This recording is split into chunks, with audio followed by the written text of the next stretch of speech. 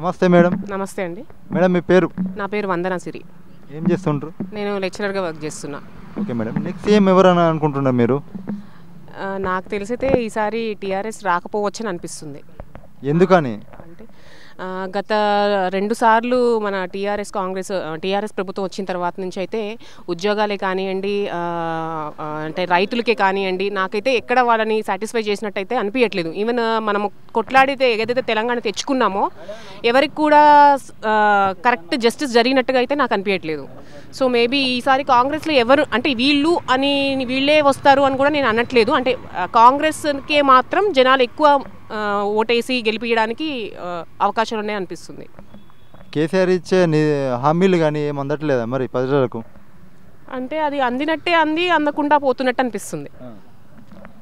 పొలం ఉందా మేడం మీకు? ఉందండి. ఎంత ఉంది ఒక రెండు ఎకరాలేమో ఉంది. రైతు బంధు వస్తుందా? వస్తుంది. వాటర్ ఉన్నాయా? లేవు మాకు వాటర్ సోర్స్ వాటర్ వస్తలేవు దాని గురించి మీరు ఎవరిని అడగలేదు వాటర్ సోర్సెస్ గురించి? అదంతా అంటే మాది బీడు భూములు అవి పండే నేలైతే ఏం కాదు. పవర్ వస్తుందా మేడం? Twenty four hours? చాలా వరకు పవర్ కట్సే ఉన్నాయండి. Power cuts. Okay madam. ఇప్పుడు దళిత బంధు లాంటివి డబుల్ బెడ్రూమ్ ఇల్లు లాంటివి ఇటువంటి ఏమైనా అందిన వాళ్ళు ఉన్నారా? ఉన్నారు. మా తెలిసిన చుట్టాల్లో మా మామయ్య కూతురు ఉన్నది.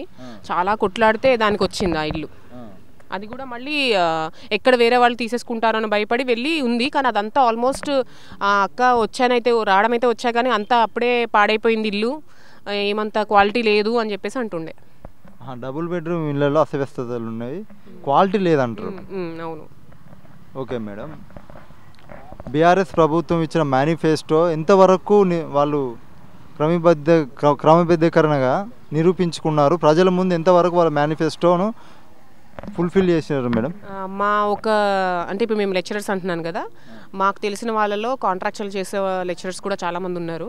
సో వాళ్ళకైతే ఏదైతే హామీ ఇచ్చారో రెగ్యులరైజ్ చేస్తామని ఇంతవరకు రెగ్యులరైజ్ అయితే కాలేదని వాళ్ళు చాలా బాధపడుతున్నారు. మాకు అన్ని క్వాలిఫికేషన్స్ ఉండి కూడా మమ్మల్ని రెగ్యులరైజ్ చేయలేదు. అందరినీ చేశారు మమ్మల్ని కూడా చేస్తే బాగుండేది వాళ్ళు బాధపడుతున్నారు. కాంట్రాక్ట్ బేసిక్ లెక్చరర్స్ని రెగ్యులరైజేషన్ చేయలేదని మీరు మీ ఆవేదన వ్యక్తం చేస్తున్నారు. ఓకే మేడం నెక్స్ట్ వచ్చేసి కాంగ్రెస్ నుంచి వెళ్ళి సోనియా గాంధీ గారు ఆరు భరోసా హామీలు ఇవ్వడం జరిగింది గ్యారంటీ హామీలు. మీకు తెలుసా దాని గురించి ఏమైనా? లేదండి.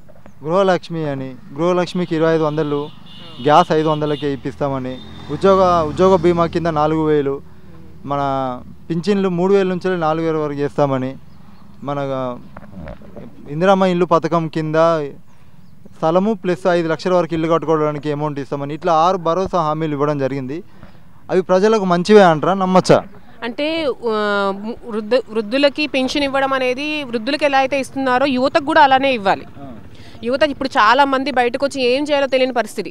ఈవెన్ బిడ్ డిగ్రీ చదివి కూడా పిల్లలు పదివేలకి పన్నెండు వేలకి చేస్తున్నారు. అది సాధారణమైన ఒక అంటే చదువుకోవాల్సిన అవసరమే లేదు పది పన్నెండు వేలు సంపాదించడానికి. నిరుద్యోగ భ్రాస ఇస్తా అని చెప్పారు ఆరు సూత్రాలలో. అయితే అయితే కొన్- ఎంతో కొంత కాంగ్రెసే ప్రతి సంవత్సరము నోటిఫికేషన్లు ఇచ్చి రిక్రూట్మెంట్ చేసుకోవడం అనేది జరిగింది. ఇప్పుడు మన టీఆర్ఎస్ గవర్నమెంట్ ఏదైతే చేసిందో ప్రతిసారి నోటిఫికేషన్లు వేయడము దానికి అప్లై చేసుకోవడము పాపం రాయడము మళ్ళీ అవి క్యాన్సిల్ కావడము. ఎంత నిరుత్సాహానికి గురి పదేళ్ళ నుంచి రాస్తున్న వాళ్ళు కూడా నేను చూశాను కళ్ళారా. ఎవరికి కూడా అసలు జాబ్స్ వచ్చినట్టయితే నేను అసలు నాకు ఐడియా లేదు అసలు. కొడంగల్ టైగర్ రేవంత్ రెడ్డి గారు పన్నెండు లక్షలు డిక్లరేషన్ ఇచ్చారు ఎస్సీ ఎస్టీకి. అధికారంలో వచ్చిన తర్వాత పన్నెండు లక్షల డిక్లరేషన్ మేము కన్ఫర్మ్ చేస్తామని చెప్తున్నారు. అది ఎంతవరకు నిజం? ఎక్కడి నుంచి ఇస్తారండి ఈ డబ్బులన్నీ? అసలు నాకు అర్థం కావట్లేదు. ఎక్కడి నుంచి ఇస్తారు? అంటే మా డబ్బులే కదా ఇవన్నీ?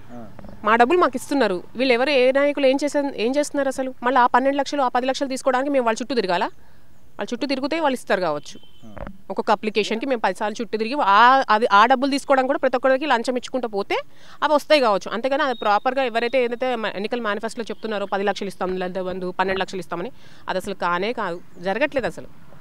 Okay madam. టీఆర్ఎస్ ప్రభుత్వం నుంచి ఇప్పుడు కేటీఆర్ గారు హైదరాబాద్ను డెవలప్మెంట్ చేసినాము మేము ఐటీ ఇండస్ట్రీలు తెచ్చినాము ఫ్లైఓవర్ తీసుకొచ్చినాము మేము హైదరాబాద్ డెవలప్మెంట్కు కారకులైనాము అని అంటున్నారు. మరి వరంగల్కి ఎటువంటి డెవలప్మెంట్ కావాలి మేడం? వల వరంగల్లో అసలు రోడ్స్ ప్రాపర్గా ఇవ్వండి ఏదైతే వాటర్ కోసము ఏదైతే తవ్వారో అంటే ఆల్రెడీ ఉన్న రోడ్స్ని మొత్తం పాడు చేశారు. అడుగడుగుకు గుంటలే. బైక్ మీద వెళ్ళాలంటే ఈరోజు భయపడుతున్నాం మేము. అసలు బైక్ మీద వెళ్ళలేని పరిస్థితి. నడువులు నొప్పులేస్తున్నాయి మాకు. వెళ్ళి రావాలి అంటే లేడీస్గా మాకు డెలివరీలు అయ్యి సర్జరీలు అయ్యి మేము బైక్ వెళ్ళి తీయాలంటే కూడా మాకు భయం వేస్తుంది. ఎందుకంటే రోడ్స్ అంత వరస్ట్గా ఉన్నాయి. బయటకు కనిపించే బయట బయటకు కనిపించే రోడ్సే బాగున్నాయి. లోపల ఇంటర్నల్ రోడ్స్ అనేది చాలా డ్యామేజ్ అయిపోయినాయి. అసలు వాటిని పట్టించుకున్నదే లేదు. నేనైతే కొన్ని రోడ్స్ చూస్తున్నా టెన్ ఇయర్స్ నుంచి అలాగే ఉన్నాయి. దాన్ని ఏం చేసింది లేదు. అలానే ఉన్నాయి వరంగల్ రోడ్స్. వరంగల్లో వరదలు మునిగిపోవడానికి కారణం గవర్నమెంట్ కాదంటారా? మొన్నటి వర్షాలకి మా ఇళ్ళన్నీ మునిగిపోయి మేము ఎంత సఫర్ అయినాం అనేది అసలు తెలుసా? ఆయన ఆయన పొరపాటు పా కారణం వల్ల కేవలం ఆయన పొరపాటు కారణం వల్ల మేము ఎంతమంది మీ ఇండ్లు కోల్పోయినామో తెలుసా అసలు? అది రోడ్లు తవ్వేసి వాటిని కన్స్ట్రక్షన్ మధ్యలో ఆపేసి ఈ కేసు అని ఆ కేసు అని అసలు సామాన్య మానవులకి ఏ మాత్రం న్యాయం జరగట్లేదు. Okay madam thank you okay madam ఇప్పుడు కాంగ్రెస్ నుంచి వెళ్ళి సెంట్రల్లో ఎవరు మన సెంట్రల్లో ఎవరు వస్తాను అనుకుంటున్నారు అధికారంలోకి? కాంగ్రెస్ నుంచా అండి? ఢిల్లీ నుంచి వెళ్ళి సెంట్రల్లో ఎవరు వస్తాను అనుకుంటున్నారు అధికారంలోకి? నెక్స్ట్. ఢిల్లీ నుంచి సెంట్రల్లో. బీజేపీ గట్టిగా ట్రై చేస్తుంది రావాలి అని ఇక్కడ కూడా. వస్తే ఏం చేస్తుందో అని ఇక చూడాలి. మేమైతే బీజేపీ వస్తుందని అనుకుంటున్నాం. ఎందుకని? కాంగ్రెస్ రెండు రెండే ఛాన్సెస్. బీజేపీ ఆర్ కాంగ్రెస్ ఇవి రెండే వస్తాయి. Okay. Thank you madam. Right thank you